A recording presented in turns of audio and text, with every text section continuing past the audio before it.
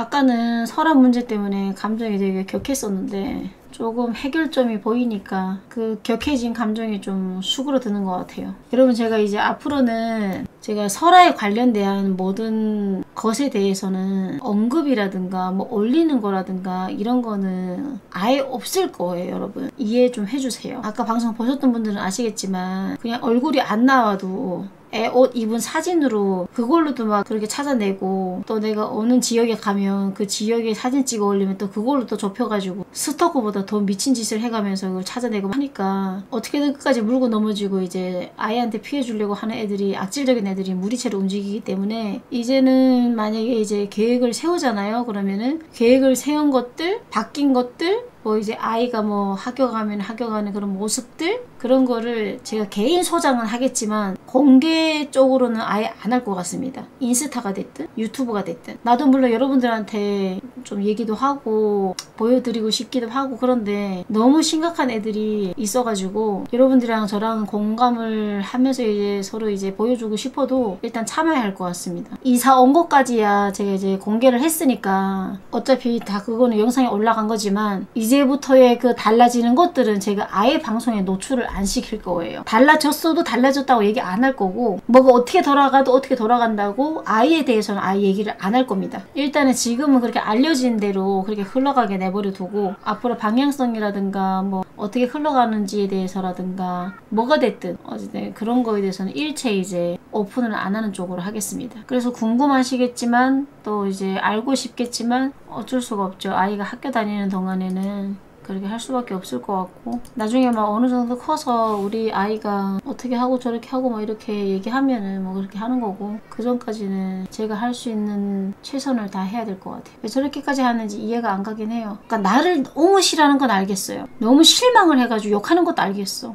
근데 그거는 진짜 실망을 해가지고 나를 욕하는 분들인 거고. 그 이제 그분들과 별개로 악의적인 애들은 나한테 타격을 주는 게 좋기 때문에 그렇게까지 하는 거지. 이제 내가 뭐 잘못했고 안 했고가 중요한 게 아니라 나를 나락으로 보내고 나를 방송 못하게 하고 나를 좋아해주는 사람이 좀 없었으면 좋겠고 힘들었으면 좋겠고 어쨌든 꼴불견이고 막 이러한 애들이기 때문에 걔네는 이제 이런 거 저런 거 가리지 않죠. 일단은 막 나가고 보겠지. 근데 제가 막 나가는 걸 일단 막 나가게 내버려 둘 거예요. 조용히 처리할 겁니다 조용히. 그리고 나중에 결과를 여러분들한테 알려드릴게요. 다른 거는 몰라도 이제 아이를 건드리는 부분에 대해서는 저는 무조건 법적 처리를 할 거기 때문에 이것저것 좀 제보가 들어온 게 있는데 증거들이 들어온 게 있는데 이미 신상이 까발려진 애들도 있고 또 이제 신상이 까발려질까 말까 하는 애들도 있고 또 유독 심각한 애들 거 이제 보내주더라고요. 좀 법적 처리를 해야 될 것 같은 이제 아이를 공격하는 거. 미친 듯이 아이를 파헤치면서 이제 아이한테 피해 주려고 한 힘들게 하려고 하는 애들. 이제 그런 애들 쪽으로 지금 제보가 들어왔는데 4명, 5명은 일단은 제가 생각하고 있습니다. 고소할 만한 사람. 거기서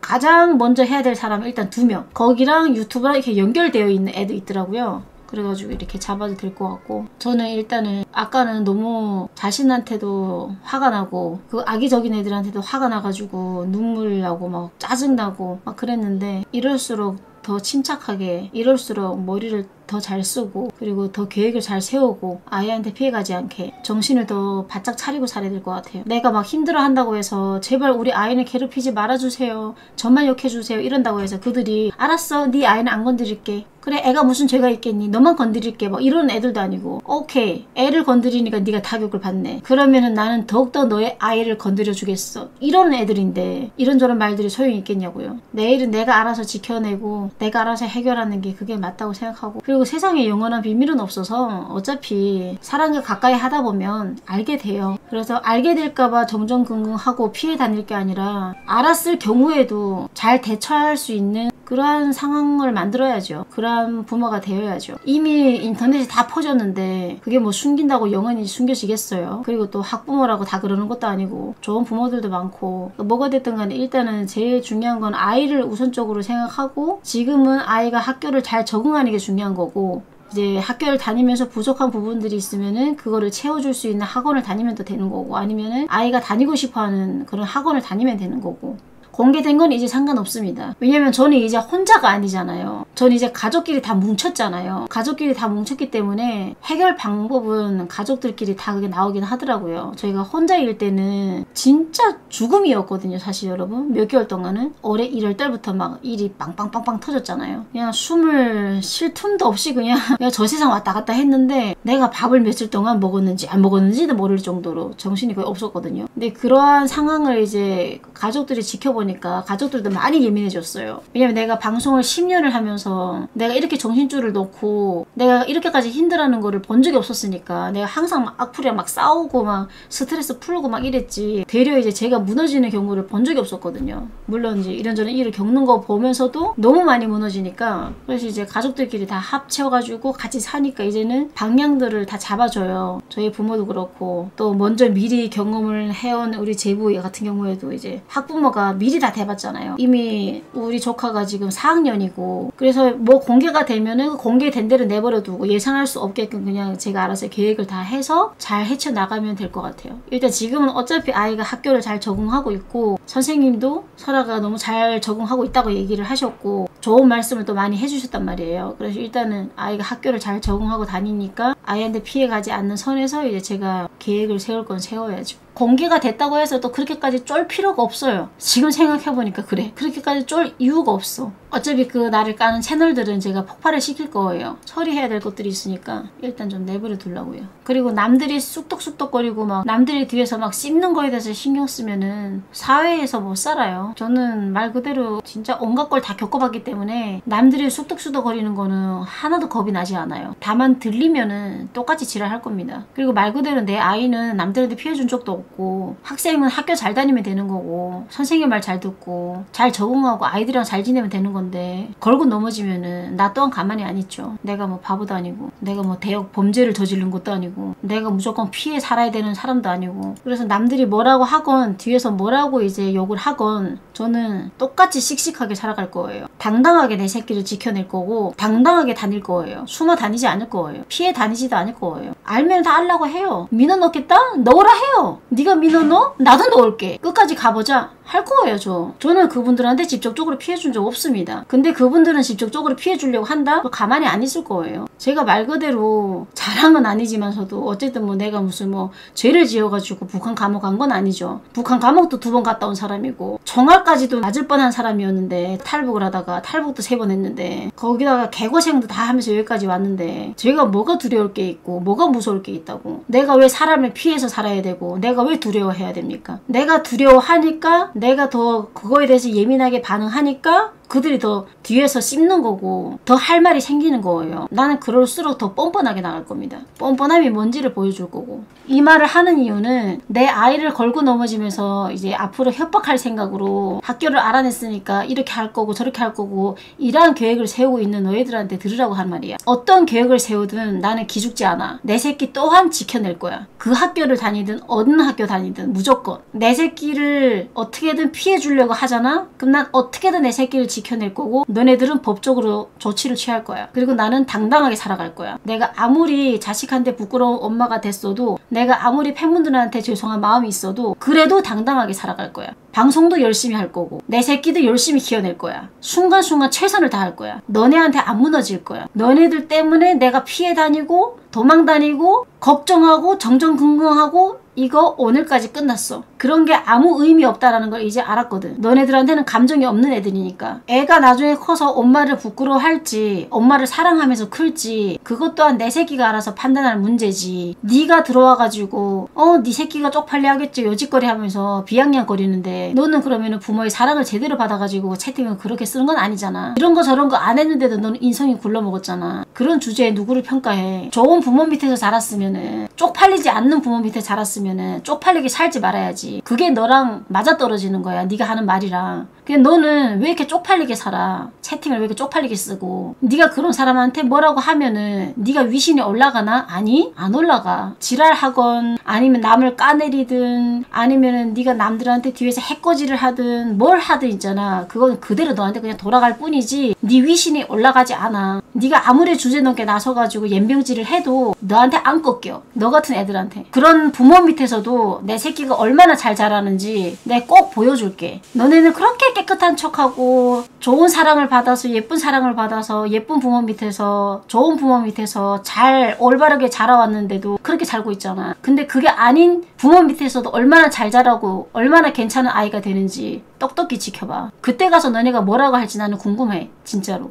내가 쪽팔려 하잖아. 그럼 내 새끼도 쪽팔려 해. 근데 내가 강하게 마음 먹고 똑바르게 자식을 키워내야 되고 내 힘으로 내가 내 새끼를 지켜내야 되면은 난 강하게 마음 먹을 거야. 굽힐 때 가서는 굽히더라도 아닐 때 가서는 절대 안 굽힐 거야. 맞설 때 가서는 맞설 거고 그렇게 살 거야. 난 나답게 살 거야. 아니 내가 아까 울고 또 이제 막 지랄하고 여러분들이랑 대화를 하면서도 생각이 딴 데가 있었거든요. 그때부터 이제 계속 생각을 한 거예요. 이게 제보를 받으면서 이제 얘네들이 심리가 좀 보이더라고요. 얘네들이 왜 이러는지 도 보이고 심리도 보이고 또 내가 이러면 이럴수록 어떻게 해야 되는지도 좀 이제 보이기 시작하고 내가 자꾸 이렇게 무너지거나 힘이 없어지면 그 감정 그대로 자식이 따라가니까 내가 내 새끼를 믿어야 되고 선생님을 믿고 학교를 보내는 건데 내가 강하지 않으면은 내가 내 새끼를 어떻게 지켜내요? 내가 약한 모습 보이면은 내 새끼도 약해질 거고 내가 부끄럽게 생각하고 살고 있으면은 내 새끼도 부끄럽게 생각하면서 살 건데 아 내가 쪽팔리 행동했고 여러분들한테 죄송할 행동했지 하지만 앞 으로는 정신 바짝 차리고 그냥 당당하게 걸어갈 거예요 미리 이것저것 생각할 필요가 없고 내가 어떻게 마음을 먹는 거에 따라서 자식도 달라지는데 그 전 남편 같은 경우에는 저를 부모로서 저를 또 존경한다 그랬거든요 자기는 자기밖에 생각 못하고 행동하고 자식을 먼저 생각 안 하고 항상 그랬는데 어떤 상황이든 자식을 포기 안 하고 끝까지 지켜내는 나보고 이제 존경스럽다고 얘기하면서 막 좋은 말도 또 해준 게 있어요. 그런 걸 또 들으면서 또 자존감이 올라갔던 것 같아요. 오늘 이걸 예상했는지 분명 저는 한동안은 저라는 게 들키면 안 될까봐 거의 가리고 다녔거든요. 그게 자식을 위한 거라고 생각하고 근데 오늘 영 이상하게 기분이 아침부터 제가 화장을 하고 있는 거예요. 일찍 일어나가지고 겁나 꾸미는 거예요. 아니 지금까지 화장도 안 하고 맨날 어, 학부모들이랑 부딪힐 때도 추한 모습으로 막 누가 봐도 뭐 자다가 나온 모습으로 막 패딩 하나 걸치고 막 추리닝에다가 막 마스크 꼭 하고 막 항상 이렇게 나갔단 말이에요. 애 데리러 가든 데려다 주든. 근데 오늘따라 안 그러는 거예요, 제가 아침부터. 머리도 감고, 어제는 때도 밀고, 화장도 하고, 갑자기 막 제일 입고 싶은 옷을 다 꺼내놓고, 오늘 제일 이쁘게 해가지고 설아 데리러 가야지? 이러면서 내가 설아 데리러 갔거든요. 그래서 아마 거기에 저 봤던 분들이 좀 깜짝 놀랐을 거예요. 왜냐면은 진짜 누추한 모습으로 갔었어요. 항상 애 데리러 갈 때. 근데 뭔가 모르게 이게 쎄함이 느껴졌는지, 왠지는 모르겠어요. 그냥 저의 느낌으로 봤을 때는 그냥 아니 내가 왜? 아니 그래 영원한 비밀이 어디 있어? 그리고 이미 일어난 일? 뭐 어쩔 거야? 당당하게 살 거야. 내가 왜, 왜 쫄아야 되는데? 내가 왜 숨어야 되는데? 아, 쟤 됐어. 이러면서 이제 내가 나도 모르게 화장을 하고 막 꾸몄나 봐요. 그래가지고 오늘은 엄청 예쁘게 해가지고 서로 데리러 갔다니까요. 그러니까 쎄한 걸 얘기한 거는 무슨 말이냐면 어제까지만 해도 추한 모습으로 내가 아이 데리러 갔잖아요. 근데 오늘은 알아봐도 상관없으니까 나인 걸 들켜도 상관없으니까 누가 봐도 나인 걸 티내면서 갔다고. 마치 이런 일이 일어날 것 같은 느낌으로. 그걸 얘기하는 거예요. 마치 미리 대비한 것처럼. 어이가 없지 않아요? 엄청 오늘 꽃단장하고 가니까 동생이 그러는 거예요. 오늘 왜 이렇게 꾸미고 가냐고. 맨날 그렇게 다 가리고 가더니 아니야 이제는 그냥 꾸밀 거야. 어, 이제는 보일 거야 당당하게 나갈 거야 이러면서 이제 딱 나가가지고 서로 데리고 오고 그랬는데 어머 오늘 오후에 방송을 켰더니 어머나 세상에 누군가가 들어와가지고 나 아는 척하네 자기가 무슨 아무개 아무개 엄마라면서 우리 아이랑 지 아이랑 같이 놀았다면서? 어느 학교 다니는지를 갑자기 얘기하면서? 어머나 세상에. 근데 그런 아이는 이 학교에 없었어요. 그건 이제 구라였고. 왜냐면 저랑 이제 좀 가깝게 지내는 학부모님들은 그렇게 할 수 있는 부모님들이 없거든요. 그래서 나는 와가지고 막 그렇게 대놓고 하는 게 말이 안 된다고 생각했단 말이에요. 어차피 얼굴을 부딪히는데 저렇게 나간다고? 저렇게 말한다고? 말이 안 되는 거거든요. 그래서 직접적으로 알아봤더니 그런 아이 이름 자체가 학교에 없다 그러더라고요. 안 그래도 여러분 아이들도 그걸 무시 못하는 게 어머나 여러분 우리 설아뿐만 아니에요. 우리 설아가 친구들이 생겼잖아요. 내가 맨날 선글라스 쓰고 아니면 막 마스크 쓰고 막 이렇게 가고 막 이랬더니 같이 놀던 친구들도 저한테 막 그런 얘기를 했었어요. 애들이 다 알잖아요. 요즘 애들이 얼마나 똑똑합니까? 설아 어머니세요? 막 이러는 거예요. 그래서 내가 응 이랬더니 근데 왜 자꾸 얼굴을 가려요? 이러는 거예요. 그게 어제였나 엊그제였나? 그래서 내가 아 그게 아니고 수술을 해서 그래 내가 이랬단 말이에요. 그랬더니 아하 그렇군요. 이래가지고 내가 설아가 다른 친구랑 놀 때 그 친구한테 물어봤거든요. 설아가 어때? 학교에서 친구들이랑 잘 지내? 너랑은 어때? 혹시 기분 상하게 하지 않아? 이랬더니 아니요 잘 지내는데요 근데 줄 설 때요 다른 친구들이 똑바로 안 서면은요 똑바로 서라고 잔소리 하긴 해요 그러면은 그 혹시 선생님이랑도 사이가 괜찮아? 그럼 옆에 있는 짝꿍이랑도 잘 지내? 짝꿍이랑도 얘기 잘 하던데요? 뭐 이러는 거예요. 근데 오늘 같은 경우에 내가 이제 꾸미고 나갔잖아요. 그러면은 설아 친구들이 같이 따라 나왔을 거 아니에요. 항상 같이 놀던 친구들이 있을 거 아니에요. 어머나 애들이 더 여러분 엄마보다 애들이 서로 어머니세요?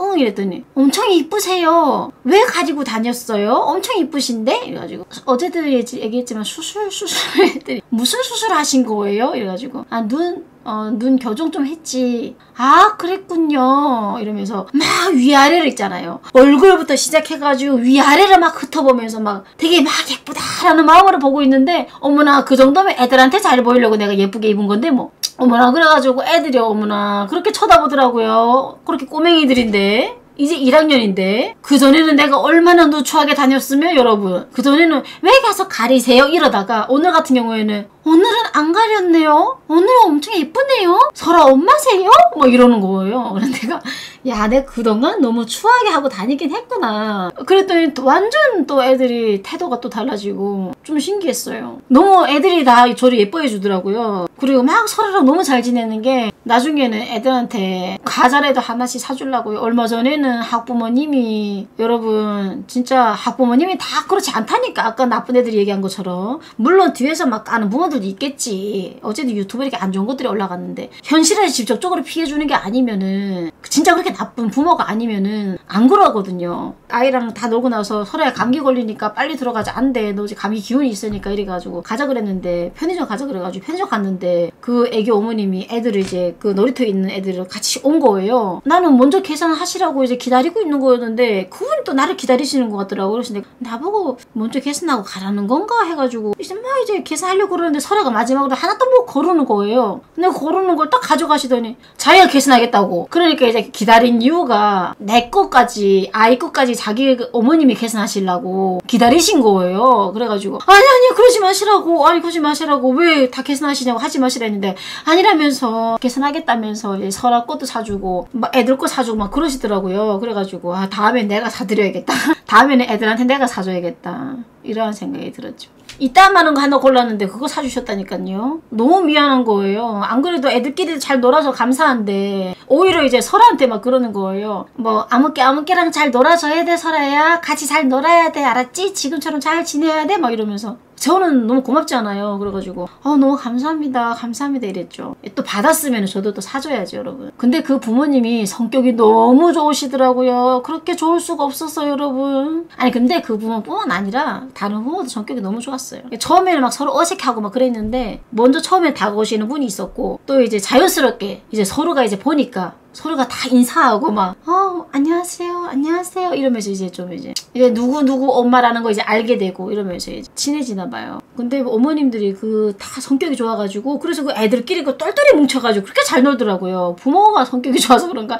애들끼리도 어찌라고 성격이 좋은지 서로가 서로를 챙기더라고요. 너무 착하다 착하다 이러면서 막. 그래서 헤어질 때마다 항상 애들한테 서로가 먼저 가서 미안해 애들아. 다음에는 더 오래 놀게 할게. 애가 아직 감기 기운이 있어서 너네들도 감기 옮을 수 있어. 그리고 바람 너무 불 때는 놀이터에서 오래 놀지 말고 일찍 들어가 알았지? 막 이러면서 얘기했는데 우리는 조금 더 놀 거예요. 다음부터는 서로 좀 더 오래 놀게 해주셔야 돼요. 막 이러고. 학부모라고 욕을 하지 말라는 법이 어딨니? 학부모가 됐든 무슨 부모가 됐든 부모도 사람이야. 욕할 만한 상황에서 욕해. 더군다나 나는 방송하는 사람이야. 내 방송에는 욕이 무조건 포함돼. 엄마건 엄마가 아니건 뭐가 됐든 사람은 사람이야. 시집을 갔건 애를 낳았건 똑같은 남자고 똑같은 여자야. 부모라는 이유로 욕하지 말라는 법이 없어. 애 앞에서는 조심해야겠지. 근데 내가 방송을 하면서 욕할 만한 상황에서 욕해야지 당연히. 내가 스트레스 받으려고 방송하는 게 아닌데 나는 내가 좋아서 방송하는 거고 나를 좋아하는 사람들과 함께 소통을 하면서 방송 진행하는 게 좋아서 하는 건데 내가 뭐 그들한테 욕을 처먹으려고 방송하나. 욕을 하면 당연히 욕을 하지. 나는 무조건 건드리면 문다고. 아 막 쟤네들 때문에 내가 막 더 강해지네. 아 이제 앞으로는 이제 꾸미고 열심히 다니려고요. 꾸미고 다니면서 아이 데리러 가려고요. 내가 신경 안 쓴다고 뭐 안 일어날 일도 아니고 일어날 일은 일어날 거고 안 일어날 일은 안 일어날 거고 지나갈 일은 또 지나갈 거고 피할 수 없으면 즐겨야죠. 피할 수 없는 소나기라고 해도 그냥 기꺼이 맞아들이지 뭐. 내가 강해지지 않으면 그 어떤 것도 지켜낼 수가 없어요. 유일하게 아이가 믿고 의지하는 게 지금 나밖에 없는데 나까지 약한 모습 보이고 자꾸 내가 숨어버리려고 하고 내가 강하지 못하면 어떡합니까? 아이가 더 기죽지. 아이를 기 살려주고 학교도 다 지금처럼 학교도 다니는 걸 좋아하게 만들고 용감하게 애가 씩씩하게 예의 바르게 잘 자랄 수 있게 제가 옆에서 잘 지지해줘야죠. 그러라고 부모가 있는 건데 제가 지금 하는 말에 여러분들이 생각과 내 생각이 다를 수도 있어요. 오히려 더 숨어야지. 들키면 안 되지. 부모라는 걸 아는 순간 자식한테 피해 가는데 뭐 이렇게 생각하는 부모님들도 분명히 있을 거예요. 아니면은 뭐 일반 분들도 그렇게 생각할 수도 있고. 나도 그렇게 생각했었어요. 근데 그게 옳은 방법은 아니더라고요. 정답은 없어요. 정답은 내가 만들어가는 건데 그게 꼭 현명한 답은 아닌 것 같아. 그러니까 피할 수 없는 소나기라면 그냥 기꺼이 맞고 그냥 일어나면 되지. 그리고 씩씩해야지. 그래서 저는 예를 들어서 뭐 학부모들 중에서 막 뒤에서 막 쑥닥쑥닥 거리든지 말든지 그런 거 절대 신경 안 쓰고 난 내 갈 길 갈 겁니다. 그리고 예쁘게 하고 설아 데리러 가고 그렇게 할 거예요. 나는 어디 가서 기죽는 스타일이 아닌데 한동안 너무 기죽어 살았어. 다시 씩씩해줘야지. 모니님 내 말이 그 말이에요. 모니님 이 그게 안 되더라고요. 맞아요. 이게 내가 아무리 가려도 알아보는 사람 또 알아봐. 병원에 갔잖아요. 병원에 생얼로 갔잖아요. 알아보더라니까요.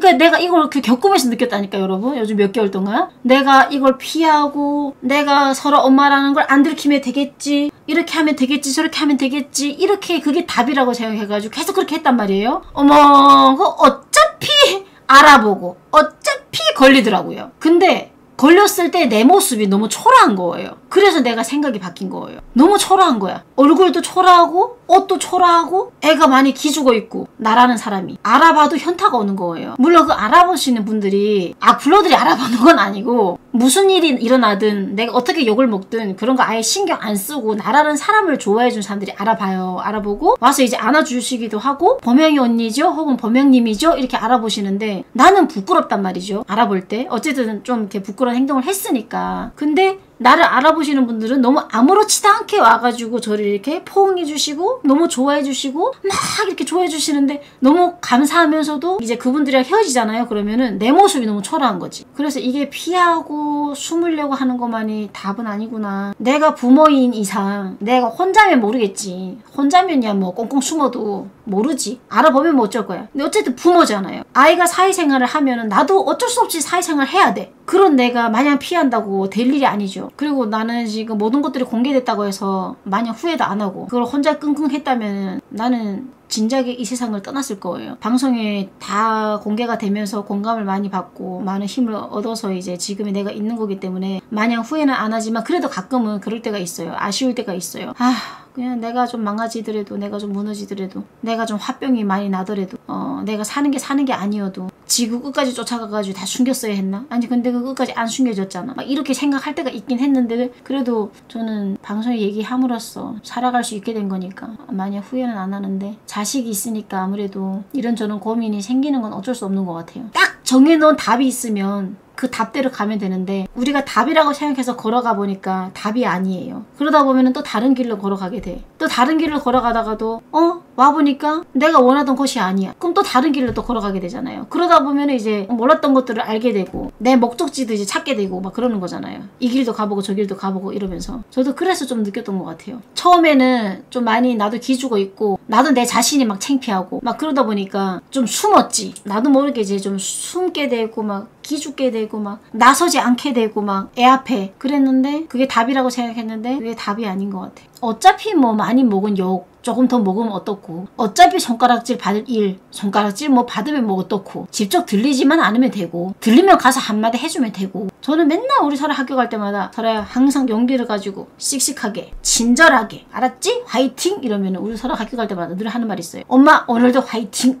이런 거 있거든요. 아이만의 그게. 그리고 이제 우리가 이제 충전하는 게 있어요. 그러면은 설아가 머리를 갖다 대면서 충전! 100% 됐어? 뭐 이제 이제 간단 말이에요. 그래서 굉장히 씩씩하게 학교 잘 다니고 아이들이랑도 너무 잘 지내고 결국에는 다 내 몫인 것 같아요. 반성하는 것도 남을 위해서가 아니라 내 자신을 위해서 그리고 또 내 자식을 위해서 반성을 하는 거지. 그게 뭐 남을 위해서는 아니잖아요. 팬분들한테는 미안한 거지. 죄송하고. 시청자분들한테도 그렇고. 근데 이제 스스로 반성할 거 반성하고 나아갈 거 나아가고 피해갈 수 없는 것들은 뭐 기꺼이 맞으면 되는 거고. 그래서 그냥 생각을 좀 바꿨어요 이제는. 당당하게 살자. 아이한테도 아무렇지 않게 대하고 강한 모습을 아이한테도 많이 보여줘야겠다. 이렇게 생각이 바뀌었어요. 내 생각이 틀릴 수도 있고 맞을 수도 있겠지만 누군가는 공감할 수도 있고 누군가는 또 공감을 못할 수도 있겠지만 그래도 어쨌든 내 인생이고 또 내 새끼의 인생이니까 내가 해결을 보고 내가 만들어 가야 되는 게 맞는 거지. 모든 결과도 책임은 내가 지는 거니까. 저는 지금의 내 생각이 꼭 정답이다 뭐 꼭 옳은 판단이다 이렇게 생각은 안 하지만 그냥 그때그때 최선을 다하려고요. 그때그때 최선을 다하는 게 그게 맞다고 생각해요 저는 내 스스로도 내 자신도 엄청 혼내는 편이거든요. 그러면서 또 내 자신을 또 칭찬할 때도 또 칭찬하고. 근데 제가 진짜 최근에 자존감이 제일 많이 올라갔던 게 딱 그거였어요. 간호사분이었는데 가족이 다 감기 걸렸어요. 아이가 한 명 걸리니까 다 걸렸어. 다 주사 맞았지. 아이는 이제 두 개를 맞았어요. 약을 안 먹겠다 그래가지고 분명 알아보는 분이 없었거든요. 나는 그냥 알아보는 분이 없었다고 생각했어요. 그때 막 쌍꺼풀 한쪽이 실밥이 안 푸른 그 눈이어가지고 마스크만 하고 눈내 그때 선글라스 썼나 안 썼나 선글라스 안 썼을 거예요. 그러니까 알아봤겠지. 어쨌든 막 그렇게 주사 다 맞고 계단 쪽으로 막 내려오려고 하는데 갑자기 뒤에서 누군가가 막 뛰어오는 거예요. 그냥 뒤돌아봤더니 간호사분이에요. 범명님이죠 이러는 거죠. 아, 아이. 나 이제 그 하도 그 그러니까 상황이 좀 저기 하니까. 예 근데 제가 지금 모습이 이런데 어떻게 알아? 보명님 맞죠? 맞네요 아까. 알아봤는데 가서 아는 척 하고 싶었는데 아는 척을 못했는데 보명님이 맞네요. 어떻게 어떻게 어떻게? 이러면서 아 요즘에 제가 욕도 먹고 있고 이렇게 누추한 모습인데 어, 그렇게 좋아해 주시니까 막 민망하다고 막 이렇게 얘기했는데 막 그분이 아 그런 거 하나도 중요하지 않아요. 아 욕하든지 말든지 하라고 해요. 이러면서 아 저는 그냥 보명님이 좋아서 그런 건데. 이러면서 어머 그 말이 그렇게 여러분 어머나 저 여러분 진짜 거짓말이 아니고 자존감이 진짜 많이 떨어졌었거든요. 근데 자존감이 진짜 올라가셨어요. 근데 이거는 거짓말이 아니라 옆에 제부도 있었고 동생도 있었고 다 있었어요. 근데 그 있는 상태죠. 제부에는 한 계단을 내려가고 있는데 나는 위 계단에 있었는데 거기서 알아봤으니까 우리 제부가 당황해가지고 뭐야 뭔데 뭔데 이래요. 아저 알아보신 분이어가지고 야 쌩골인데도 이러한 모습인데도 알아보네 이러면서 아 근데 너무 감사했어요. 솔직히 제일 딱 그러한 시기였잖아요. 숨고 있는 누구도 알아보지 말아라 막 이러한 그러한 모습이었는데 와가지고 길을 확 살려주고 가신 거예요. 어머 그래가지고 내가 어머 내가 뭐라고? 이렇게 못난 나를 이렇게 좋아해 준다니. 게다가 욕먹고 있는 것도 다 알고 있는데도 이렇게까지 나를 좋아해 준다라는 게 너무 감사한 거예요. 그래가지고 와 이래서 팬팬 거리고 이래서 이제 시청자 시청자 거리는구나. 이런 생각도 했습니다. 이게 그 팬분들을 무시 못해요. 팬분들이 주는 그 사랑을 무시 못해. 굉장한 것 같아요. 그 연예인분들이 왜 팬팬 하는지 알 것 같은 게 나는 연예인도 아닌 일반인인 주제에 그런데도 여러분 이렇게 기가 살고 너무 감사하다라는 생각이 드는데 연예인분들은 팬분들이 엄청 많잖아요. 그분들은 당연히 팬분들 때문에 더 으쌰으쌰 할 수밖에 없을 것 같은데 그분들이 주는 사랑 진짜 무시 못하거든요. 저 그래서 인스타에도 막 글 썼었잖아요. 너무 감사해가지고 그날을 잊을 수가 없어가지고 요 근래 내가 밖에도 안 나가고 맨날 얼굴 가리고 다니고 이런 이러다 보니까 알아보는 사람도 딱히 없었고 알아봐도 막 그렇게까지 엄청 좋아해준 사람은 없었단 말이에요. 어 범명님 맞네요. 범명님 반가워요. 이러고 그냥 말았지. 너무 이렇게까지 자존감을 올려주는 사람이 없었어가지고 막 너무 감사했었어요. 진짜로. 그 병원에 오신 분들 있잖아요. 소아과였으니까 애기 엄마들도 그렇고 막 애기들도 그렇고 막 엄청 많았어요. 정신없는 상태였어요 그때. 자리를 잠깐 비우는 것도 안 되는 그런 공간이었거든요. 근데도 뛰어와가지고 그랬다라는 거는 얼마나 저를 좋아해 주시면 그게 가능하겠어요. 나도 뻔히 아는데 나도 거기에 주사 맞고 오면서 와 사람 너무 많다 진짜 이러면서 간호사분들이 엄청 바쁘겠네 막 이러고 있었는데 갑자기 와가지고 그랬으니까 그래가지고 막 빨리 가야 되니까 있잖아요. 그분이 빨리 막 이러고 나와서 막 막 가고 막 그랬다니까요. 네, 어쨌든 그분한테 너무 감사했습니다. 저는. 보명이, 보명이, 저놈의 보명이 정말 진짜 고릴라 보명이, 고릴라 보명이 딱지가 않겠어. 씨부랄, 개부랄, 진짜. 아, 다른 걸 떠나서 조만간 애들 그, 막, 간식이나 좀 사줘야겠다. 안 그래도 감사한데 뭐 사주기까지 하니까 너무 감사해가지고. 몸둘 바를 모르겠더라고. 심지어 벌써 우리 설아는 친구 집에도 한번 갔다 왔어요. 이야, 한번 데리고 들어가던데요. 설아가 또 친구를 또 집에 또 데리고 오고 싶어요. 내 막 미치겠어요. 엄마 석 사정도 모르고 이걸 어떻게 해야 되나 막 있잖아요. 여러분 있잖아. 뭔지 알아요? 자기도 친구 집에 갔으니까 친구도 자기 집에 데리고 오고 싶은데 친구도 오고 싶어 하는데 내 석 사정도 모르고 어, 설아야 그게 아니고 있잖아. 좀 더 친해지면 설아야. 싫단 말이야. 나도 친구 집에 갔잖아. 친구도 날 초대했잖아. 나도 초대하고 싶단 말이야. 친구도 우리 집 오고 싶다 한단 말이야. 설아야 지금 엄마 상황이 내 막 죽겠어요 여러분 요즘에. 가끔 이렇게 막 난감할 때가 많아요.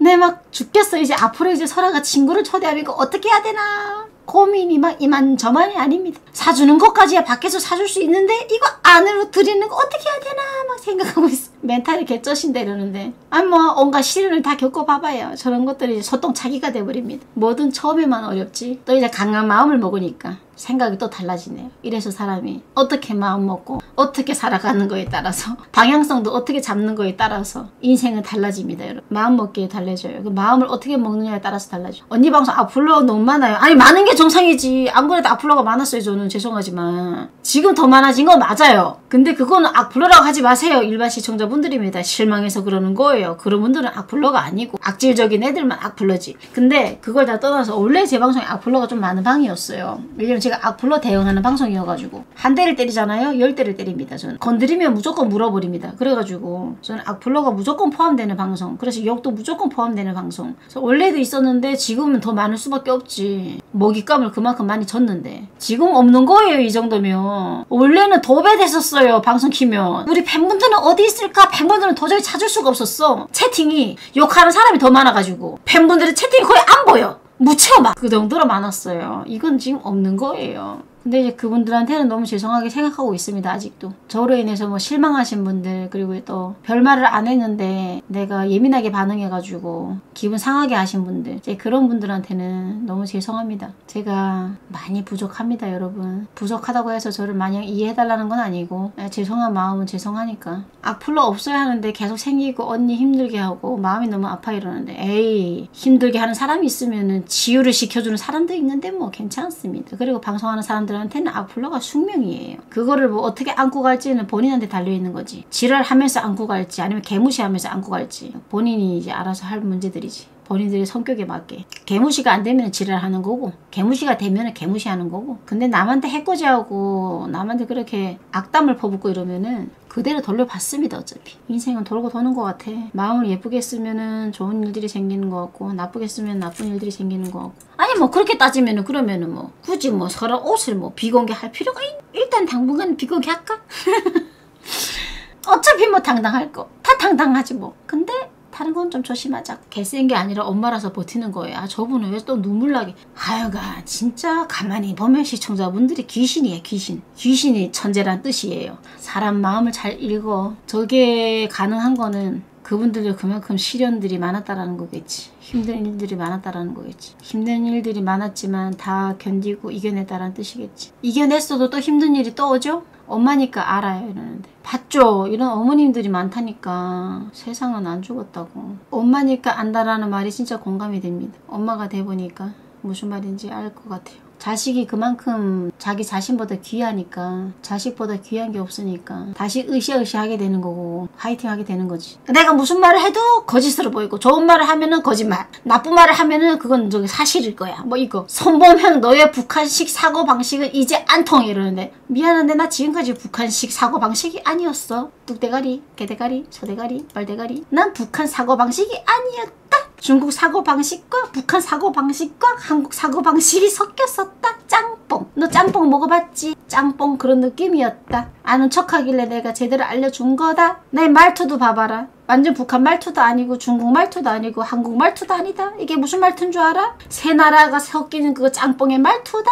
너 그것도 몰랐지? 북한식, 한국식, 중국식이 어딨어. 사람은 다 거기서 거기지. 좋은 사람, 안 좋은 사람 이렇게 갈리는 것 뿐이지. 완벽한 나라가 어디 있으며 나라마다 문제가 없는 사람이 어디 있고 나라도 다 완벽하지 않고 사람들도 다 완벽한 사람만 있는 것도 아니고 또 상대성인 것도 있지. 나한테 나쁜 사람이 누구한테는 좋은 사람일 수도 있고 나는 나라 들이치는 애들이 제일 이해가 안 가. 인간은 다 거기서 거긴데 인간 위에 인간이 없고 인간 밑에 인간이 없는데 나라랑 뭔 상관이에요? 성격이 차이겠지. 나라 드립이 짜증나죠. 짜증 안 날 수가 있나요? 무슨 나라가 우리가 선택하고 싶어서 태어납니까? 난 대한민국에서 태어나야지 이러면 짜잔 대한민국. 난 미국에서 태어나야지 이러면 짜잔 하고 뭐 미국 이렇게 태어나죠. 중국에서 태어나야지 이러면 중국 짜잔 이렇게 태어나고 부모 선택, 나라 선택은 다 본인이 할 수 없지. 태어나고 보니까 북한인 걸 어쩌라고. 태어나고 보니까 한국인 거고. 진짜 팬은 집요하게 안 그래요. 적당한 선을 지키려고 해요. 맞습니다. 언니 말씀이 당연히 맞습니다. 아니 차단을 시켜도 시켜도 들어온다. 저놈의 저놈의.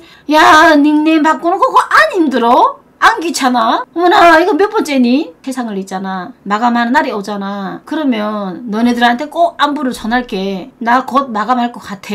너네 뒤따라 와라 이러면서. 내가 이 지구에서 사라지면은 너네가 어떻게 살라고. 그 정도면 내가 지구에서 사라지면 너네 못 산다. 무조건 따라와야 된다 이거는. 팬분들은 두고 너네는 내가 데려갈게. 내 꼭 발표를 할게. 알았지? 이 생에서 다 살면 갈 때 되면 얘기할게. 지극정성이다 지극정성. 야 일이라도 그렇게 열심히 해봐라. 너네를 위한 뭔가를 해봐라 좀 그렇게 열심히. 자기 개발을 한다던가 뭐래도 됐겠다 그 정도 지극정성이면 이 짓거리를 해봤자 니네 위신이 올라가는 것도 아니고 고작 그래봤자 니네 수준이 그냥 드러나는 것뿐인데 어? 어디 하자 있다라는 것만 드러나는 것뿐인데 이 짓거리를 해서 이득이 되는 것도 없는데 왜 저 짓거리를 하나 몰라 그래봤자 나한테 욕 처먹고 그냥 차단당하잖아 욕 처먹는 게 좋은 건가? 변태인가? 아니 이젠 쟤네는 나를 말로 죽일 수 있는 게 없습니다. 내 하도 이제 사람이 들을 수 없는 말 다 들어봐가지고 이제는 웬만해서는 뭐 아또 짖는구나. 뭐 근데 오늘 영 기분이 저기 한데 얘네가 짖네. 내 오늘 더 짖어줘야겠다. 이러면서 더 짖어줄 때가 있지. 얘네가 1절 2절 아니야. 꼭 무조건 100절까지 하는 것 같아.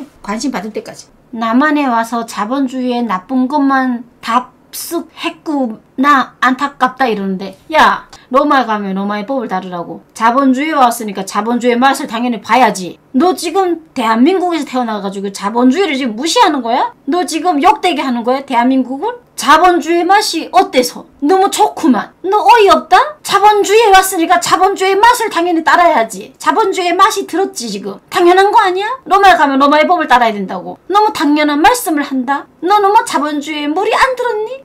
너는 진작에 들었을 거 아니야? 나보다도? 한국에 태어났으니까? 이 정도면 자기 스스로 지를 디스하는 건데 뭐. 야, 내 막 미치겠네. 제대 로 자본주의 맛을 보고 싶니? 너 일로 와봐라. 내 제대로 떡떡이 내가 제대로 맛들게 해줄 테니까. 너 아직 진정 모르는 것 같다 나보다도. 자본주의 맛이 뭔지. 자본주의가 뭐 어때서 지랄이야? 진짜 어이가 없네. 대한민국만큼 좋은 나라가 없는 것 같은데? 대한민국만큼 인터넷이 빠른 곳이 어디 있나 봐봐. 배달도 그렇고. 이 세계를 못 따라간다. 대한민국을. 조선 사람들이 성격이 급해가지고 인터넷도 급한 거 봐라. 엄청 빠른 거 봐라. 배달도 봐라. 얼마나 빨리 오나. 너 다른 나라 가봐라. 이렇게 빠른 데가 없다. 덜 떨어져도 한참 덜 떨어져가지고. 거의 뭐 쏜살같이 달려오는데. 인터넷은 뭐 그냥 쏜살같이 그냥 탁 틀어져 그냥. 느린 꼴을 못 봐. 뭐든 빨리빨리. 넌 탈북민의 대표 수치라고 볼 수 있다 이지랄 하고 있는데. 내가 왜 탈북민의 대표야 이 등신아. 내가 뭐 탈북민 중에서 엄청난 사람이라도 돼? 얘가 날 높이 평가하네. 나는 그냥 수많은 탈북민 중에서 한 명일 뿐이야. 나라를 들먹거리지 말라니까. 잘못한 사람이 있어. 그러면은 그 사람이 잘못한 거지. 그 나라랑은 상관없어 그 나라 사람이랑은. 이 사람과 나랑은 다른데. 가족끼리도 엄연히 다른데 성격이. 하물며 남남이야. 같은 고향 사 람이라는 이유로 그런 게 어딨어. 내 미치겠네. 근데 아까랑 똑같은 말 해야 돼? 아까도 얘기했잖아. 욕하고 보니까 중국 사람이었던 거잖아. 중국 사람이라서 욕을 먹었던 게 아니라. 그럼 나도 봐봐. 욕 먹을 짓을 했지. 욕 먹었지. 그러면은 보통 내가 북한 사람이라서 욕했어? 아니야. 그러니까 욕을 먹었어. 근데 알고 보니까 얘가 북한 여자네. 이렇게 된 거잖아. 근데 다른 탈북민이랑 무슨 상관이야. 괜히 그렇게 엮어가지고 다른 탈북민을 욕하려고 들지 마. 네 싫어하는 거를 그딴 식으로 포장하지 마. 괜히 탈북민을 싫어가지고 까고 싶으니까 그딴 식으로 포장하고 지랄이 야. 거야. 내 핑계를 대면서. 다르다는 걸 뻔히 알면서. 난 누구의 대표도 안 돼. 내가 뭐라고 탈북민의 대표야. 나는 거기서 태어났을 뿐이고 지금은 대한민국 사람이고 살다가 좀 이렇게 삐그덕 했던 거고 그래서 욕을 처먹은 거고 그게 다야. 사람이 잘못을 해서 문제를 일으켰으면 그 사람한테 그냥 욕하면 되는 거지. 무슨 들먹거리는 걸 말같이 다는 걸 들먹거리고 지랄이야. 말도 말 같은 말을 해야지. 아까는 무슨 자본주의 맛 이지라 하던 이번엔 또 탈북민 대표. 왜 대한민국 대표라고도 하지? 넌 지금은 대한민국 사람 됐으니까 대한민국 대표로서 너 수치다 왜 그러지 이번에는? 어떤 빡대가리는 무슨 뭐 우리 서라보고 헌혈이라 그러던데 뭐. 네 남편이 대한민국 사람이고 네가 북한 여자니까 네 딸은 그러면 혼혈이다. 이야, 내 진짜 얼마나 무식하면 저렇게 무식할 수 있을까 싶을 정도? 원래 무식하면 용감하다고 합니다. 나도 지능 수준이 높지가 않거든요. 애초에 같은 민족이었는데 아무리 이게 반으로 갈렸지만서도 피가 같은데 민족이 안 다른데 혼혈이 어떻게 되냐고 그게 중국 남편 만나가지고 내가 애를 낳았어? 아니면 내가 뭐 미국 남자를 만나서 애를 낳았어? 혼혈이게? 이제는 기드립이네. 야 북한인들은 다 키 작아. 너도 그렇고. 난쟁이더라 이러는데. 야 너는 난쟁이가 아니라 아주 그냥 저기 뭐야 전봇대처럼 커가지고 너는 이제 그 모양으로 상식이 아주 뛰어나는구나. 전봇대만큼 커가지고 아주 그냥 잘하면은 그냥 하늘도 닿겠는데 뭐 너무 커서. 그래서 막 생각이 넘쳐가지고 막 그렇게 생각이 막 넘치는 것만큼 모질한 걸로 막 한심한 걸로. 이제는 기드립을 치네. 다음에는 무슨 몸무게 드립인가? 아 당연히 거기에 대부분 작긴 해. 그걸 인정한다. 여기는 잘 먹고 잘 사니까 키가 대부분 크지. 거기는 못 먹는데 영양 부족인데 당연히 많이 작지. 근데 작은 게 중요하나? 인성이 중요한 거 아니야? 지금 너 봐봐. 네가 아무리 키가 커서 뭐해? 인성이 그 모양인데. 그말다 했지. 사람은 어떤 사람인지가 중요한 거 아니야? 키랑 얼굴 이랑 상관없이 아무리 예쁘고 아무리 키가 커도 못난 짓을 하면 못나 보이는 거 아니야? 내 기준에서 안 이뻐도 착한 행동하고 예쁜 행동을 하고 이러면은 아 저 사람 너무 괜찮다 너무 예쁘다 이렇게 시선이 쏠리게 되지 않아? 예쁜데 싸가지가 없고 예쁜데 겁나 인성이 하자가 있어 그러면은 아 진짜 뭐 저딴 게 다 있어 이러면서 이제 다시는 상종하지 말아야지. 내 다시는 저기 안 간다. 이러잖아 사람이. 결국에는 그 사람의 마음이 중요한 거지. 사람이 중요한 거고. 댐댐이라는 게 제대로 갖춰져야 되는 거지. 나도 한국에서 태어났으면은 기본 키는 160은 됐을 텐데. 나도 그게 막 아쉽네. 너랑 나랑 좀 바꿨으면 참 좋았을 텐데. 너 지금이라도 북한에 갔다가 올 마음 없니? 조금만 고생하다 와봐라 그럼 사람 된다. 대한민국에서는 배때기가 불러가지고 절대 사람이 안 될 것 같고 북한만 좀 갔다 와봐라 좀 나도 가능하면은 막 북한 갔다 오는 브이로그를 찍고 싶은데 갔다가 지들 새도 모르게 저 세상으로 갈까봐 못 가겠고 여기서 이제 나왔다. 중요한 건 키보다 비율이죠 이러는데. 아 그것도 맞죠. 아 근데 어느 정도 키가 있어야 비율이 좀 나오긴 해요 사실 옷 입었을 때 그 옷 맵시라든가. 작게 살다 죽으면 어떻고 크게 살다 죽으면 어떻고 비율이 좋으면 어떻고 나쁘면 어떻고. 그냥 건강하게만 살다가 가면 돼요 여러분들도. 제가 어떤 탈북민 영상 봤는데 미소년자 때 남한에 와서 한의원에 지내는 동안 키가 20cm 정도 컸다고 하던데 잘 먹고 잘 움직여서 컸대요 어 맞지? 그렇게 해서 크는 애들도 있죠. 한국에 와가지고 갑자기 확 큰 애들도 있어요. 나는 왜 안 됐을까?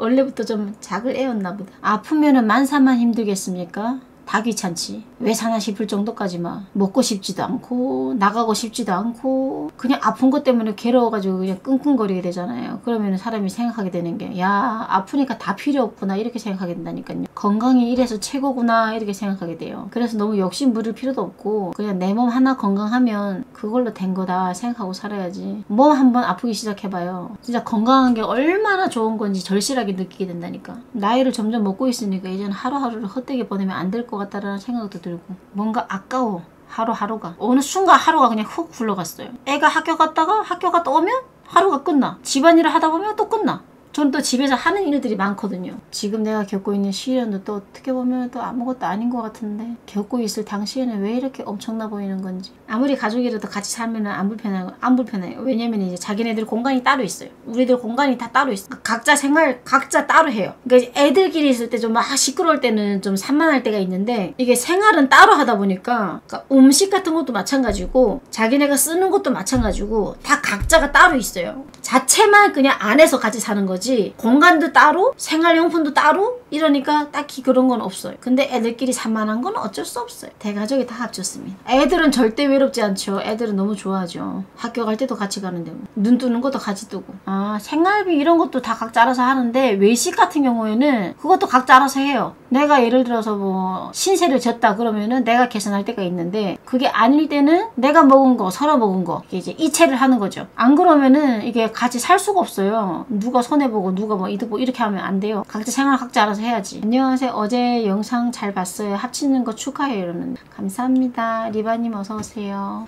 근데 같이 사니까 너무 좋은 게 저한테 없는 것들을 가족들이 다 가지고 있어가지고 집에서 뭘 만들어 먹는 게 다 가능해요. 야 없는 게 없던데? 다 있던데? 가정용품이? 언니 청소도 각자 맡았어요. 각자. 각자 거는 각자 그래서 안 힘들어요 뭐든 다 각자 한 지붕, 지붕에서 살지만 다 각자예요 범양님은 남편과 어떻게 되셨어요? 아직 양육비 못 받으시는 거죠? 이러는데 당연히 양육비 못 받았죠. 양육비 못 받은 지가 지금 몇 년이에요. 횟수로 4년 된 아이를 혼자 키운 것도 횟수로 4년이고 양육비 없이 산 것도 횟수로 4년인데요.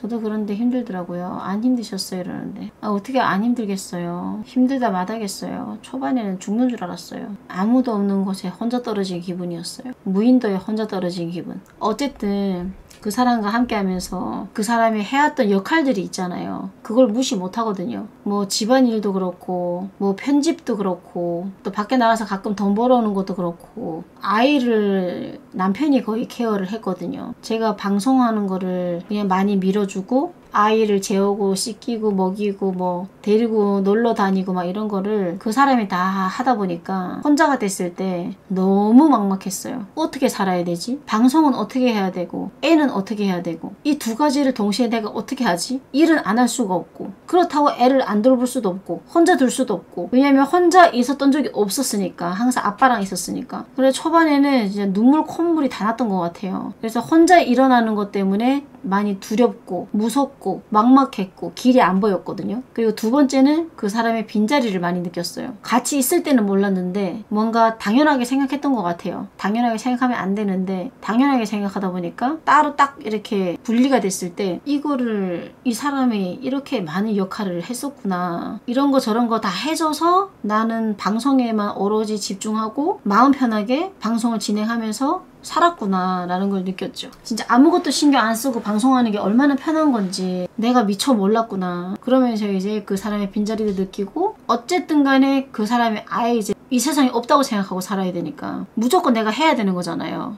그래서 이제 아 죽기 살기를 그냥 마음 먹고 밥이 되든 죽이 되든 일단은 하나하나 도전해보자 이러면서 이제 시작을 하고 노력하고 이것저것 도전하고 실패하면 실패한 대로 성공하면 성공하는 대로 이렇게 이제 끊임없이 노력을 했던 것 같아요. 그러다가 한 가지씩 성공이 되면 와 대박 내가 이걸 해냈다고 이러면서 되게 뿌듯함도 얻었던 것 같고 왜냐면은 저는 이제 기계치고 전화 받는 거며 뭐 가입하는 거며 이런 거를 다 이제 그 사람이 해줬거든요. 그리고 말귀도 잘못 알아듣겠어요. 전화 연결해가지고 뭐 이렇게 막 얘기하는 거 그런 것도 다 그 사람이 하고 이사할 때도 이제 모든 걸 다 설치하는 거 이런 거 다 예약하는 것도 다 그 사람이 하고 모든 걸 다 이제 그 사람이 했던 것 같아요. 그러다 보니까 혼자가 되잖아요. 그럼 완전 바보가 되는 느낌이에요. 아무것도 모르겠는 거지. 방송하는 거밖에 모르겠는 거지. 먹이는 거야 뭐 같이 살아도 아이가 먹고 싶은 거 나도 해줬으니까 되는데 재우는 거, 씻기는 거, 먹이는 거, 놀아주는 거, 방송하는 거, 편집은 또 이거 편집자가 있긴 하지만 편집자가 그때 일주일에 한 번씩 해주는 편집자가 있었거든요. 근데 이제 이틀에 한 번씩은 올려야 되는데 그게 안 되지. 그냥 진짜 초반에는 계속 울었어요 진짜로. 너무 막막해가지고. 그리고 이제 너무 두려웠었어요. 근데 방송에는 말을 못하지. 혼자서는 다 해야 되지. 죽기 살기를 하다 보니까 어느 순간 되긴 하더라고요. 자리도 잡히고 초반에는 많이 힘들고 많이 무너지고 많이 자빠지기도 하고 실수투성이고 막 그랬는데 그래도 어찌어찌 해가지고 잘 이겨냈던 것 같아요. 진짜 힘들었지만 그 사람을 생각했을 때 뭔가 빈자리도 느끼면서 한편으로는 원망스러운 것도 있었어요. 안 그래도 큰 시련을 져가지고 힘들어 죽는 줄 알았는데 어떻게 또 이렇게 큰 시련을 줄 수가 있지 싶어가지고 그 사람이 걱정이 되면서도 엄청 미웠고 원망스럽고 막 그랬던 것 같아요. 근데 반대로 그 사람은 저를 엄청 걱정을 했죠. 이제 지금에서야 얘기할 수 있는 부분인데 아무것도 여러분들한테 말을 못할 때는 이러한 말도 이제 못했잖아요. 모두 모르고 결과를 이제 들으려고 온 가족이 차를 끌고 경찰서에 갔어요. 그 사람이 이제 잡혀 들어가는 단계인 거를 몰랐거든요. 어느 정도 조사받고 이제 나오는구나 이렇게 생각하고 애를 태우고 나도 옆에 타고 이렇게 같이 갔는데 갑자기 그 사람이 들어갔다가 나왔는데 검은 차가 딱 서더니 내리는 거예요. 나는 차에서 기다리고 있었거든요. 아이랑 같이. 엄청 더웠어요. 차 안도 너무 더웠고. 근데 그 사람이 팔을 이렇게 하고 있는데 여기에 이제 뭘 씌워놨더라고요. 우리가 놀랄까봐 그랬나 봐요. 근데 때마침 아이가 그때 자고 있었어요. 나는 이제 계속 기다렸고 불안한 마음으로 나는 뭐가 뭔지도 모르는 상태였으니까 그러다가 그 사람이 이제 부탁을 했나 봐요. 경찰분들한테 내가 아무것도 모르는데 이렇게 먼 지역까지 왔는데 이 사람이 운전할 줄도 모른다. 그래서 이게 대리 운전을 부르려면은 자기가 가서 이제 도와줘야 된다라고 얘기를 했나 봐요. 그래서 경찰분들이 경찰이 아니지. 그래서 형사분들이 와가지고 두 분이 이제 같이 따라와서 부탁을 들어준 거예요. 근데 그 사람이 이제 그걸 차고 있는 걸 보는데 눈물, 콧물이 막 다 나는 거예요. 그리고 막 하늘이 막 노래. 더운데 막 더운 거는 막 저리 가라가 됐어요. 너무 충격받아가지고 엉엉 울고 있는데 그 사람이 이제 내 핸드폰을 가져가서 대리 운전을 부르는 거예요. 그걸 차고 있는 걸 보고 있고. 근데 그 사람이 이제 아이가 자고 있는 걸 또 보고 있고. 아이의 이제 마지막 인사를 못했지 그때. 그러고 나서 이제 모르는 사람이 와가지고 운전을 해가지고 새벽쯤이었을 거예요. 그때 이제 울면서 이제 집까지 막 가고 있었거든요. 처음 운전하는 기사잖아요. 운전을 불러가지고. 근데 옆에서 엄청 우니까 얘기를 했단 말이에요. 그 상황에 대해서. 그러니까 이제 그 운전기사가 비슷한 일을 겪어봐서 안다고 그러면서 막 이제 위로를 해주면서 집에 갔어요. 근데 그때 너무 슬펐던 건 뭐였냐면 내가 아무것도 모르는 걸 아니까 끌려가는 와중에 형사님한테 부탁해가지고 내가 집을 갈 수 있게 그 마련해주는 그런 모습들 있잖아요. 이제 거기서 이제 아차 싶었어요. 아차 싶어가지고 이제 놀란 걸 떠나가지고 그냥 그 상황이 너무 슬펐어. 그러고 나서 그 사람이 핸드폰으로 해주고 다 해주고 나 갈게 갈게 이러면서 울지마 울지마 이러면서 이러다가 다시 와가지고 한 번 좀 안아봐주고 차를 타면 안 되겠냐고 이제 해가지고 저를 이제 그걸 이제 묶은 상태로 해가지고 이렇게 못 안으니까 이렇게 저한테 안긴 거예요. 그래서 이제 제가 이렇게 안아줬죠. 그러면서 진짜 울었죠. 엄청 우니까 옆에 있는 형사님 두 분이 아무 말도 못하고 그냥 이렇게 옆에서 담배를 이제 뻑뻑 피우시고 이제 막 가만히 있으시더라고요. 남편분이 그 차 그거 대리를 불렀다고 하니까 너무 걱정하지 마시고 기다렸다가 잘 가세요. 막 이렇게 하고 그 사람이 이제 그 형사 차를 딱 타는데 와 그렇게 슬플 수가 없었어요 왜 그렇게 슬픈지 몰랐어 아니, 너무 슬퍼가지고 이게 한 4시간 걸리는 거리였거든요 3, 4시간? 3, 4시간을 계속 울었어요 근데 집에 딱 왔는데 집이 무서운 거예요. 거짓말이 아니고 집이 너무 무서웠어요. 집이 너무 무섭고 그 사람이 있던 방에 딱 들어갔는데 그 사람이 옷이 있잖아요. 예, 그 사람이 이제 온기를 느끼잖아요. 그래가지고 또 그걸 또 붙잡고 또 엄청 울었어요. 이게 뭔가 싶지 나는. 이게 왜 자꾸 나한테 하늘에서 날벼락이 떨어지나 싶고 이게 혼자서 아이를 키워야 된다는 막막함도 막막함이지만 처음에는 이게 나는 뭐가 뭔지 모르겠으니까 이게 어떻게 된 일인지도 모르겠고 너무 놀래가지고 나중에도 몰랐었어요. 얘가 왜 이런 상황이 됐는지를 처음에 진짜 그냥 놀래가지고 울기 바빴던 것 같아요. 근데 그때 그 상황이 무섭고 놀라고 막막하고 그래서 이제 애를 껴안고 막 엄청 울고 막 그때 그랬었죠. 그래서 그때부터 이제 혼자 일어나기를 이제 시작한 거죠. 그리고 또 형사님한테서 전화가 왔더라고요. 가고 있는데 그 사람이 한 번 얼굴을 보고 좀 가라고 했대요. 운전기사는 왔는데 근데 그 사람이 이제 옮겨졌단 말이에요. 다른 곳으로. 유치장 같은 데로 옮겨졌을 거 아니에요. 근데 그 사람이 이제 설아가 마지막으로 한 번 딱 보고 싶다고 한 거죠. 너무 보고 싶다고 이제 저랑 이제 설아를 한 번 좀 보여달라고 했나 봐요. 그래가지고 그 기사님한테 거기 데려달라고 한 다음에 원래 설아를 이렇게 보여주면 안 됐었어요. 근데 나도 이제 처음 경험을 하는 거다 보니까 걔가 어디에 갇혀 있는 거를 몰랐어요. 어떤 식으로 갇혀 있는지를 몰랐어요. 나는 그냥 일반 그냥 형사가 있는 그런 조사받는 그런 데 있는 줄 알았는데 이렇게 갇혀 있는 곳에 있는 줄을 몰랐거든요. 그 갇혀 있는 곳에 있는 줄 알았으면 설아를 안 데려갔을 텐데 딱 가봤더니 갇혀 있더라고요. 그래서 거기서 또 벙쪘어요. 벙쪄가지고 막 울고 있는데 그 와중에 설아가 유리 이렇게 있으면 이만큼 자리가 있는데 애가 거기에 올라가서 아빠가 이제 못 나오고 아빠가 계속 우니까 설아가 계속 울고 있었거든요. 우니까 아빠 나와 나와 같이 가야지 막 이러는 거예요. 와 근데 억장이 무너지는 거예요. 못 나오는데 아빠 나와 우리 같이 가야지 이러는데 어떻게 같이 가냐고. 그래가지고 어 설아야 아빠가 지금 나올 수 없는 상황이고 아빠가 지금 여기서 좀 뭐 해야 될 게 있어가지고 엄마랑 먼저 가고 나중에 아빠가 설아 보러 갈게 막 이렇게 얘기를 하는데 그 상황 자체가 되게 마음이 막 너무 아픈 거예요. 그래가지고 그때 또막 엄청 울었지. 자꾸 아빠 보고 나오래. 왜 거기 있니? 나와서 같이 가재. 그래가지고 어 설아를 껴안고 설아 이제 집에 가야 돼. 기사님이 기다리는데 아빠가 곧 올 거야 올 거야 해가지고 그랬는데 아빠 같이 안 가? 아빠 이렇게 안 나와? 왜 안 나와? 막 이러면서 이제 애가 그때 좀, 좀 놀라셨을 거예요. 저도 이제 한국에 유치장 이런 데는 가본 적이 없어서 그게 어떤 식으로 되어 있는지 솔직히 무슨 그 사람이 어디를 가는지도 몰랐던 상황이었으니까 그냥 이거 차고 가는 것만 봤으니까. 아 진짜 그때 너무 힘들고 너무 아팠어요 마음이. 근데 그걸 또 누구한테도 얘기할 수가 없잖아요. 그래서 계속 방송에서는 초반에 한 번 진짜 울었던 적이 있었을 거예요. 그냥 그냥, 그냥 울었어요. 그냥 미친 듯이 울고 그리고 이제 어떻게든 살아남아야 되니까 이제 이 사람도 없잖아요. 이제 아무것도 없으니까 내가 손 놓고 있으면 안 되잖아요 애를 보니까 자꾸 눈물이 나고 나는 얘를 지켜야 되고 지금 지켜야 될 대상이 나밖에 없고 내가 계속 이렇게 손 놓고 있을 수도 없고 그래서 이제 계속 노력했죠 그래 힘든데 너무 힘들어 죽겠는데도 노력을 끊임없이 했죠. 그 사람이 이제 편지를 이제 계속 이제 저한테 이제 똑같은 마음을 느꼈나 봐요. 저는 이제 그 사람의 빈자리를 느끼면서 펑펑 울기도 했고 믿기도 했지만 어쨌든 많이 그립기도 했었어요. 초반에는. 근데 그 사람도 똑같이 저를 막 그리워했나 봐요. 그래가지고 자꾸 저한테 막 사랑한다 그러고 보고 싶다 그러고 왜 자꾸 잘못을 내 탓을 했는지 모르겠다면서 자기한테 여자가 나밖에 없다면서 계속 이제 그런 편지가 왔었어요. 그러면서 이제 편집하는 방법 있잖아요. 편집하는 방법.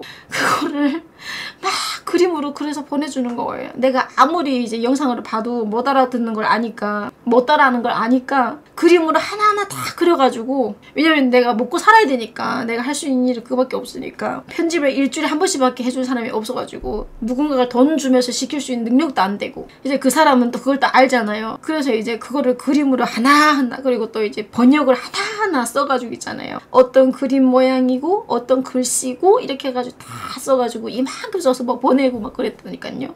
이제 그걸 보면서 제가 편집하는 방법을 배웠죠. 아 지금 뭐 다른 것 때문에 이게 눈물 나는 게 아니라 그 초반에 그 느꼈던 그 감정이 올라와가지고 와 어찌나 슬프던지 진짜 살다 살다 어 그 사람이 배신했을 때는 그냥 충격적인 울음이었거든요 그냥 충격적인 울음이었고 이 세상에서 좀 없어졌으면 좋겠다 그 사람이랑 그 여자랑 둘 다. 그냥 이 지구에서 그냥 없어졌으면 좋겠다. 이러한 생각이었고 그 사람이 거기 들어갔을 때 초반 때는 그냥 너무 슬펐어요. 그냥 세상이 무너지는 줄 알면서 너무 슬펐어요.